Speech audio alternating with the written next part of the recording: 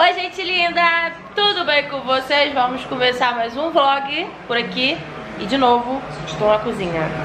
Eu já reparei que eu começo todos os vídeos na cozinha, gente. Só vou na cozinha. Alguém me tira daqui.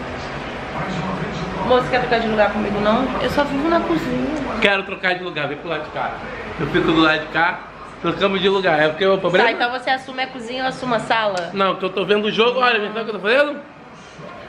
Tô soltinho, tô jogando videogame, vendo o jogo. Hoje eu não quero saber de cozinha, nem tocar eu vou, só mais Vou preparar o almoço aqui agora pra gente. Gente, vou preparar o almoço aqui pra gente. Então, vou fazer o almoço. E eu vou mostrar pra vocês o que, é que eu vou fazer. Vou fazer um arroz carreteiro suíno. É, só não falou que vai fazer o almoço agora às 3 horas da tarde, né? Não, ainda não é 3 horas, vai é dar 2 horas. Hoje a gente acordou e dá 11 horas, ah, então tá, tá no horário adequado então pra fazer, fazer almoço. almoço. É café da tarde. Não, a gente é? almoça à tarde de domingo, então... Vou ver televisão, frui? E eu vou fazer um arroz carreteiro suíno, vou mostrar pra vocês. Super rapidinho, leva pouca coisa. E vou filmando tudo aqui pra vocês. Tô filmando também lá pro Instagram. Toda vez agora que eu tô fazendo receita aqui pro canal, eu filmo lá pro Instagram também, que o pessoal gosta de assistir lá. Quem acompanha a gente no Instagram é, vai ver essa receita primeiro do que aqui no canal, entendeu? Mas é isso. É, então, antes de eu mostrar a receita, mostrar pra vocês tudo que eu vou fazer, quero pedir a vocês pra deixar o like, se inscrever no canal. Se tiver comentário, comenta. Se não tiver, comenta lá no Instagram. É isso.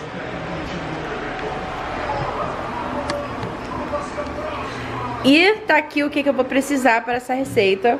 Eu vou usar alcatra suína para fazer esse arroz carreteiro. Essa aqui que eu tô usando da Sadia. Aí precisa de 300 gramas de alcatra suína. No caso, eu já deixei aqui cortadinho. Que eu comprei dois pacotes. Esse aqui tá lacrado. Aí eu preciso de dois pimentões, vermelho ou amarelo. Como eu tinha um vermelho e um amarelo, então vou usar um vermelho e um amarelo mesmo. É, mas você pode usar um ou outro, pode usar os dois para o prato ficar bem colorido. Uma cebola picada, os dois pimentões picados. Calabresa picada, é, 200 gramas de calabresa. Aqui acredito eu que tem é, um, mais do que 200 gramas, porque eu coloquei uma calabresa, então provavelmente tem mais de 200 gramas. As 300 gramas de alcatra suína, duas xícaras de arroz, uma colher de sal, essa colher de café de sal, salsinha, a salsinha é a gosto e pimenta dedo de moça, picada assim fininha. Não vou colocar muito porque as crianças vão comer para não ficar muito forte. E é só isso precisa, gente. E agora eu vou mostrando passo a passo pra vocês na panela. Gente, eu vou começar aqui agora a preparar. É, tô aquecendo aqui a panela com fio de óleo. E vou refogar é, a alcatra suína primeiro, depois eu vou colocar, depois que ela estiver refogada, eu vou refogar a linguiça junto. Só esperar ela dar uma refogadinha e depois eu já coloco a linguiça aqui nessa panela. Agora que refogou a alcatra suína, eu vou colocar a linguiça calabresa picadinha e refogada. Depois que ela estiver refogada, aí eu vou colocar os dois pimentões e a cebola e deixar refogar mais um pouco.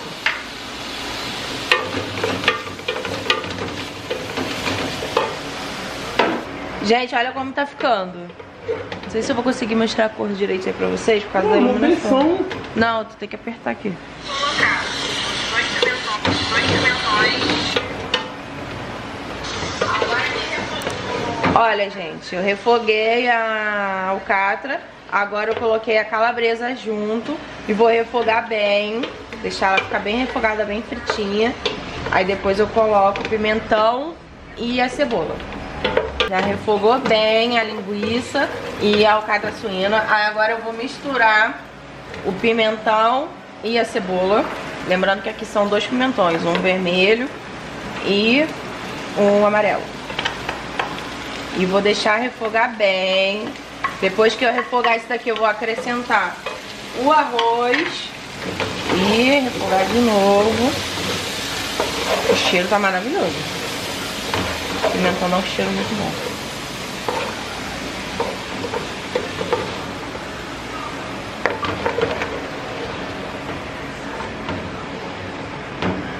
Gente, refoguei já o pimentão e a cebola e acrescentei o arroz. Olha, tá muito bonito.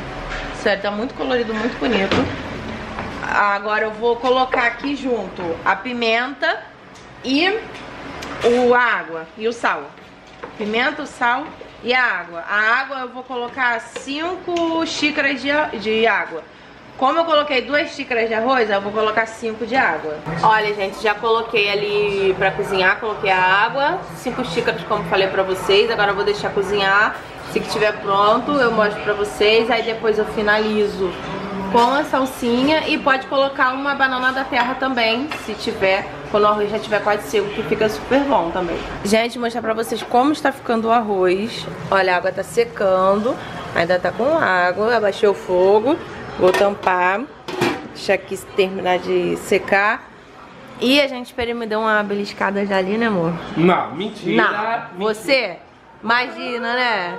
Eu tava só olhando Ah. a minha panela, não, Ah. não esbirisquei não. Não, né? Não berisquei não. Tem certeza? Tem. Porque eu tava olhando a panela, Ah, aí eu tirei a trampa, ah. eu botei o dedinho só pra ver se tava quente. Ah, tá. Não, Não. berisquei, tá bom? Então, enquanto, como o arroz já tá finalizando agora, só falta a salsinha, vamos arrumar a mesa. E essa parte pode ficar com você, tá? Não, porque eu não tô arrumando nada. Não? Fui, valeu galera, fui.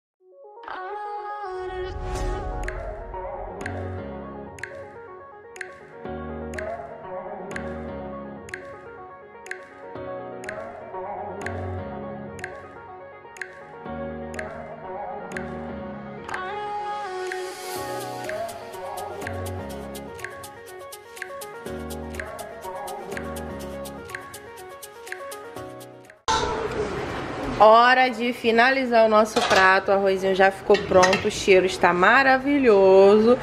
E agora eu vou colocar o arroz aqui nessa travessa de vidro, no pirex. E vou colocar a salsinha por cima para finalizar. Gente, o cheiro tá maravilhoso. E o sabor também, muito gostoso que ficou. E fica pronto muito rápido. O cheirinho que me lembra aquele arroz de forno que eu faço no Natal. Tá muito bom. Ah, mostra o doido aqui que tá fazendo ali. tá com fome. Continua? Ó, gente, já tá muito bom, meu Deus.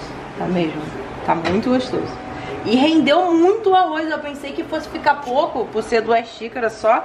Foram duas xícaras de arroz só. É, mas como leva a linguiça, a carne, as coisas, é, rendeu pra caramba. E quando tu faz arroz normal, sem nada, fica é, quantas xícaras? Ah, eu não sei porque eu não vou na xícara. E isso é uma ótima opção para o Natal. Natal. Eu não gosto muito do arroz de forno que minha mãe faz no Natal, não. Ah, Nossa! é agora que você me fala isso? É bem- Depois de anos e anos comendo, repetindo, lambendo beijo, aí você me fala. Não, o arroz de, o arroz de forno eu sempre comi pouco. É luta! Hã? O arroz de forno eu sempre comi pouco. Você está deserdada da minha ceia de Natal, que é a melhor ceia do mundo. Não, mãe, eu sempre falei pra você que... Mãe, Marcela, na verdade, eu sempre... Ai, que conflito! Roubaram o cabrito Eu sempre comi pouco arroz de forno, mas eu sempre comia muito Olha a o treta, chefe. olha a treta, tá bom. Nossa, eu deixaria a Mariane com fome. Mãe, eu nunca comia. Eu só, eu só comia o seu arroz de forno e ainda comia pouco. Tá bom, Eu Maria? nunca comi em nenhum outro lugar. Tá bom. Se eu, olha, eu deixaria a Mariane com fome. Mostra aqui, produção. Agora eu vou finalizar com salsinha. Mas não é muito não. Bota muito sim pra você comer. Essa que tá com galho. Gente, já finalizei com a salsinha, como vocês viram. Agora vamos comer, comer, comer. E a Mariane já está bebendo suco antes de chegar na mesa, mas ok. Na jarra, pó. Né? Aí pra acompanhar, eu fiz suquinho de maracujá. A, garra- a jarra de maracujá tá combinando com a cadeira. Eu tô agoniada pra tirar essa cadeira daqui, gente. Essa cadeira é lá de fora. Mas enquanto nossas cadeiras não são montadas, né? E no caso elas estão aqui ainda. Falta quatro dias ainda pra Aí ser montada. cadeira amarela e o Marcelo fica com o banquinho, mas ele roubou minha cadeira. Isso. Então vambora comer. Vem, Clarinha. Quem vai servir? Quem vai Eu. servir? Ah, a Mariane vai servir ela, né? Não, tem que servir a gente, depois o último é você. É educação. Eu sou muito educada. Ah, tô vendo. Vamos lá Melhor suquinho do mundo, É maracujá. Deixa eu misturar, porque eu tenho certeza que o maracujá tá parado no fundo. Podia ter pegado a colher de suco alguém, né? Mas ok. Colher de suco pra quê? Pra misturar o suco, aí. Gente, esse arroz. Qual o nome desse arroz? Carreteiro suíno. Esse arroz. O arroz da marca Carreteiro? Não, o nome é carreteiro mesmo. E agora, agora, agora é minha vez. Nossa, eu tô com muita água na boca, sério. Pode colocar pra mim, tá? Que educada. Eu boto pra você? Com certeza. Obrigado, Clarinha. Aqui. Quente. Tá quentinho. Agora é minha vez. Clarinha é suqueira hoje? Eu tô sem Suqueira. Ah, tá sem suco? Foi mal aí. Devia estar sem arroz. Depois que ela falou do meu arroz, né? Mas ok. Vou mostrar que eu sou uma boa pessoa. Não, no caso ela mostrou, né? Ela. Ai, que delícia. Calma que eu vou te dar. Hum. Quando a gente vê que a comida tá boa, acabou da travessa, A foi gente buscar raspa a a panela, panela. já tá raspando o fundo É, da não panela pra poder tirar mais alguma coisa. Tá É muito isso? bom, sério. Não, é... Tudo bem, claro.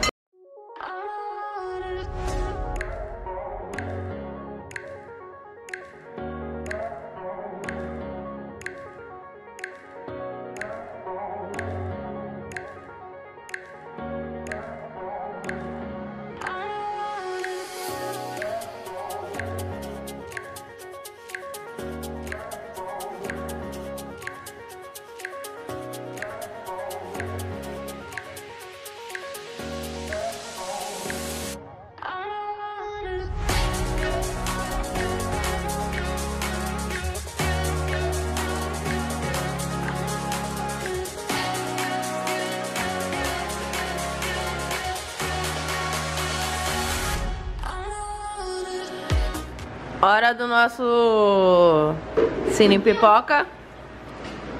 Né, amor? Uhum. Uhum. Depois do almoço já fizemos um trilhão de coisas. E agora é a hora da sessão pipoca a gente tá vendo o quê? Um filme! Vamos assistir Netflix.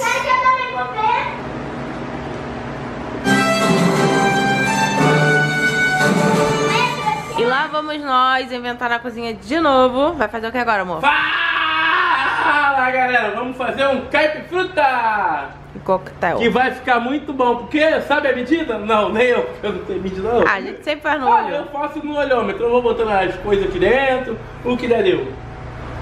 E o que, que você vai usar? Pêssego, Pêssego em caldo. O ideal é fazer com pêssego fruta, né? Mas vamos fazer com em caldo mesmo. É, mas o pêssego caldo antes de ser caldo é fruta. É. Mas Ué. em fruta é melhor. In É, natura, não em Aqui conserva. também é natura, natura conserva. E pelo Mas que eu que sei, natura é perfume. Pêssego. Champanhe que ainda tá fechada. Quando você quiser abrir uma champanhe que ela não estoure, você tira o lacre.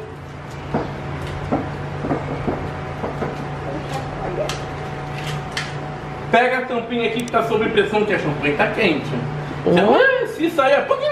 Não. Aí sujar a cozinha Você toda. pressiona aqui em cima, ó.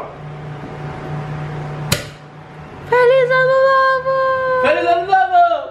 Uh! Ah, não! Vai respingar no chão. Aí você mede no, no orômetro. Cada dois dedos que cai 100 ml, ó. Um, dois, três. Nossa! tá bom. Caiu 400. Que medida, hein? Viu no orômetro? É no orômetro. Mediu no orômetro. No olhômetro. Orômetro. Ah. É o que tem que botar agora? Ué, não é você que é o, o masterchef aí do coquetel? O leite É, condensado leite e gelo. E o gelo. Leite condensado é no Zoro também, ó. Tá bom? Quando você vê que tá bom, para, tá?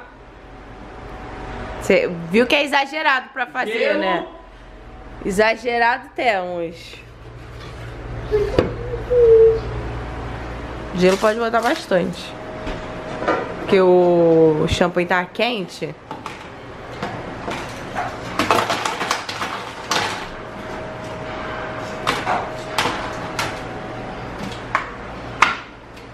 O, o gelo é uma pedrinha pra cada pêssego, tá? Então você. Uma pedrinha tudo. pra cada pêssego nada, amor. O gelo é a gosto. Não, pra cada pêssego, você pode gelo. E o que, que falta? Só, eu acho que é só, né? Bater. Eu acho que é só Pêssego, isso. champanhe, gelo? E o leite condensado. Já E leite botou? condensado. Então, foi. Você colocar do lado? O líquido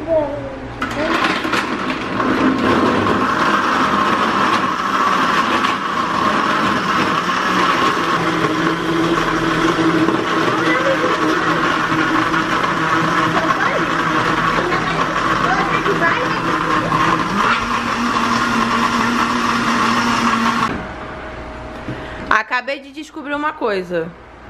Hum. Preciso comprar taça, copo para coquetel. Só temos taça de vinho e de champanhe e de. Ah, um outro drink que eu esqueci o nome. De martini, eu acho, sei lá. E eu acabei de descobrir uma coisa. Ó, Tá muito gostoso. que bom, foi minha Mas receita. pode botar mais um pouquinho de. Deixa eu experimentar, deixa eu experimentar primeiro, senão fica muito forte, eu não consigo beber.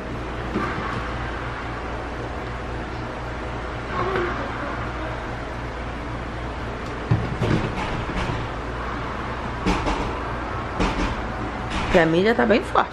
Ah, então você bebe essa taça aí que eu vou botar mais um pouquinho aí.